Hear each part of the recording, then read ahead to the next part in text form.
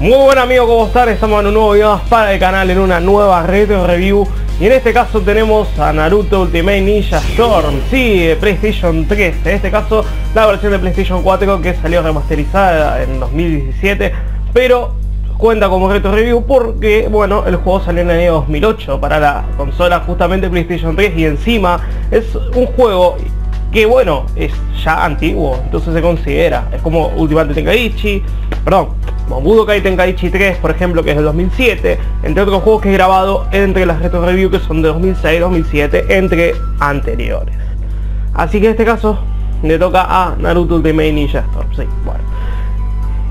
El anterior video fue Recta GP, que fue del 2011, también se considera hasta retro, hasta 2013, iba, yo considero, hasta 2013 los juegos antiguos de 2013 para arriba siguen considerados como nuevos. Por lo menos hasta unos años después. Pues ya del 2013 para arriba, para, para abajo sería ya bueno, más antiguo. Pero tenemos retro review y hoy nos toca Naruto. Vamos al lío. Bien. ¿Qué trata este Naruto básicamente? Bien, la primera parte de la historia, sí, desde el inicio de Naruto hasta bueno, hasta la pelea contra Sasuke Uchiha y bueno, Uchiha traiciona a Konoha, bueno, entre otras boludeces que ha pasado de la historia. En fin. ¿Cómo es la jugabilidad de este juego? Bueno, mayormente la jugabilidad de este juego es muy buena. Yo en este caso el juego a 60 FPS, no tiene ninguna duda porque es la versión de PlayStation 4, como dije anteriormente. No tengo que comentar nada sobre lo que sería eh, FPS, caídas, nada. El juego va perfecto. Lo que pasa es que bueno, al ser antiguo tuve que grabar algo, retro review, y bueno, me tocó subir algo de PlayStation 3. Porque bueno, digamos, eh, quise traer algo nuevo y no estar subiendo GameCube, GameCube, GameCube y Wii. No, no, algo nuevo. Vamos a traer Android también. Como grabé Recta GP en el capítulo anterior, que fue el número 8, el número 9 es este, y el número 10 ya vamos a traer otro juego que vamos a tenerlo en cuenta y capaz que sea Android también, así que vamos a verlo. Si no, terminamos con GameCube la primera temporada, que nos quedan solamente, bueno, los tres capítulos que estuve subiendo. Uno subí la semana pasada y el otro lo estoy subiendo esta semana, así que sería este. Vamos al lío, chicos. Vamos a hacer una batalla para que vean cómo se ve el juego, cómo va. Yo ya sé porque muchos ya lo vieron en otros canales hace un montón de tiempo, pero yo lo estoy subiendo ahora porque lo consideré como retro review. Así que vamos al lío. Vamos a elegir a ver algún personaje, no sé, vamos a elegir a... Elijo a Kabuto ya que estamos. Y Orochimaru como apoyo, bueno, y Kimima. ya. No se puede cambiar las técnicas. Bueno, a estos sí, a ellos, a los apoyos sí, vamos al lío. Y equipo aleatorio, vamos a elegir a Choshi, a eh, Shikamaru y ahí, no, listo, ya está. o cualquier técnica total es lo mismo, dificultad está en máximo. Así que vamos a hacer en fase preliminar Chunin, una batalla muy cortita. Como dije anteriormente, se considera Retro Review como cualquier otro juego anterior a 2003, así que por eso lo estoy grabando. Este juego tiene muchas diferencias a los anteriores Ultimate Ninja Storm, que en algún video capaz que la segunda temporada traigamos el 2, que también se considera, y el 3 que llega hasta el tope del año 2013. Por eso les digo que el 3 también se considera retro review, pero hasta ahí nomás. O sea, está muy cerca de ser un juego nuevo, porque estamos en 2014 y la cosa es nueva. Los controles, bueno, no es como el Ultimate Ninja Storm 2 o, o, el 3, digamos, el 3 o el 4. Acá el cambiazo tenés que tener mucha suerte y eh, defenderte a tiempo, si no, no te va a hacer el cambiazo básicamente. Ahí está, por ejemplo, me defendí a tiempo. Eh, incluso los aliados se ponen más fuertes. Es como que este juego se convierte como más eh, difícil que los anteriores, que es mucho más fácil hacer un combo o en otras cosas. Me cuesta porque bueno, ahora mismo me está viniendo dos CPU con... Y bueno, estoy perdiendo vida. No es que esté jugando mal, sino que bueno, pasa que este juego no es como el anterior y bueno, eh, como el, el por cuático, el 3 que tiene cambiazo automático y se puede hacer de otra manera. Cambiazo automático con el de 1. En este caso, tienes que tocar la guardia, es un tema encima la guardia te ataca con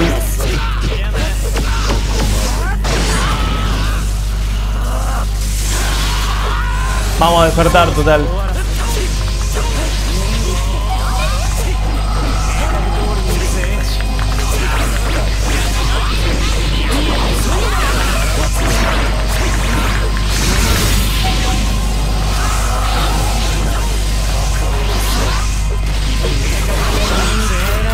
Y bueno, eh, las técnicas definitivas son con eh, pulsar los botones, girando la palanca o algún tipo de otra cosa, ¿sí?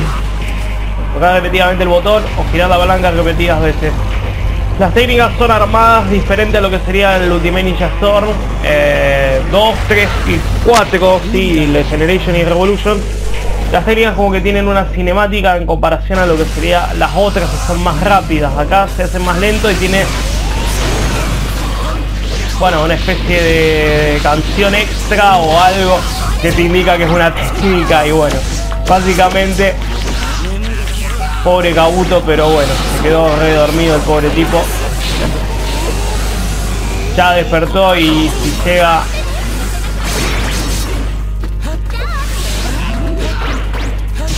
y bueno, ganamos. Básicamente, como les digo anteriormente, no es lo mismo que los anteriores. Sí. Aunque bueno, como les digo anteriormente, eh, no es como el Ultimate Ninja 2, el 3 o el 4. Sí, el 4 han cambiado muchísimo a comparación de lo que es esto. Esto era más complejo, digamos, de lo definitivo. Se dan cuenta, tenías que tocar los botones. Eso estaba bueno porque quitaron cosas en el 4 que en los anteriores mm, era mejor, digamos. Eh, y lamentablemente este modo de por ejemplo tocar dos botones para hacer un definitivo eso estaba bueno para en caso del online mm, que no te estén spameando tanto definitivo y que vos puedas defenderte. Eso hubiera estado bueno es como si fuera bueno qué sé yo eh, el fighter z o algún otro juego que tenga esa misma opción y que bueno sea más fácil a la de atacar. Por ejemplo el Tactean Tenkaichi de PSP de Dragon Ball tiene esa misma jugabilidad que tiene para tocar los botones para después, bueno, poner la técnica definitiva y si sale bien te puedes defender o te puedo descubrir. Eso es lo mismo en el Ultimate Tenkaichi, también lo mismo, ¿sí? En PlayStation 3 tiene un botón para hacer un definitivo o para, bueno, otro tipo de, acción, ¿no? En fin, chicos, eh, pasa la prueba. Sí, vamos a ver un poco lo que era el modo historia. Yo en este caso ya lo tengo completo, así que por lo menos para que vean cómo es la, la calidad gráfica de este juego a comparación de los anteriores, sí que es muy muy diferente, aunque sea un poco más complicado de jugar que los anteriores, no significa que sea un mal juego. Por eso lo elegí, porque es un juego que bueno, aunque es el primer Ultimate Ninja Store ha tenido sus fallas y es muy parecido a los Ultimate Ninja de PlayStation 2. Así que quedamos claros en eso. Bien, eh, ¿qué se hace acá en, Konoha básicamente? Nada, yo ya lo tengo completo.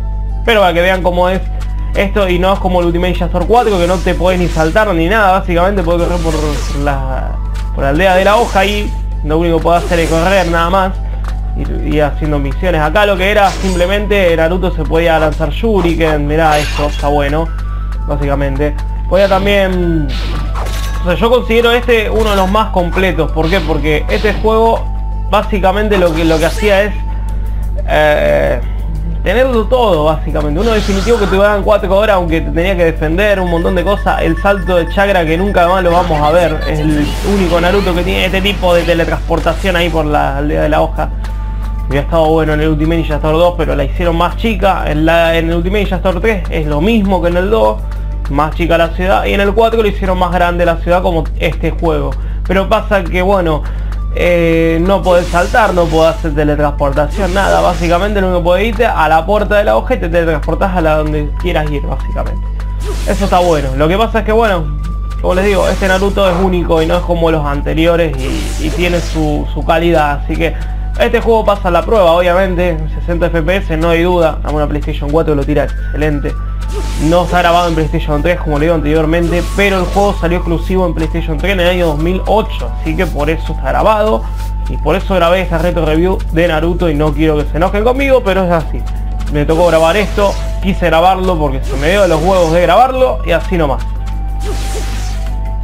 Bueno, acá el otro día se me ocurrió un bug que estaba jugando también acá, dando vuelta. Porque bueno, acá ya no se puede hacer ninguna misión ni nada.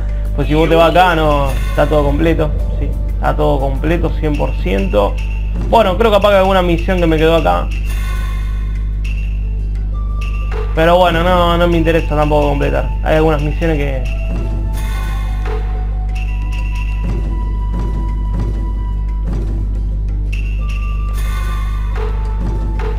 Básicamente, bueno, no está todo completo, pero... Pero bueno, no, no leí tantas horas, así que lo único que me interesó fue el platino básicamente este juego, porque no tiene online, no tiene nada. Así que bueno, básicamente esto fue toda la retro review y un saludito a Narutito. Mirá, ahí estás, Narutito. Esa cara que tiene de ninja ahí, renegado, pero bueno, lamentablemente es el séptimo K en Naruto. Vamos a seguir. Bueno chicos, nos vemos en el siguiente video. Denle like, compartanlo. Lástima que no se pueda hacer una acción como en el GTA, porque si me hubiera encantado. Pero nos vemos en el próximo. Hasta el próximo reto review. Y nos vemos. Adiós.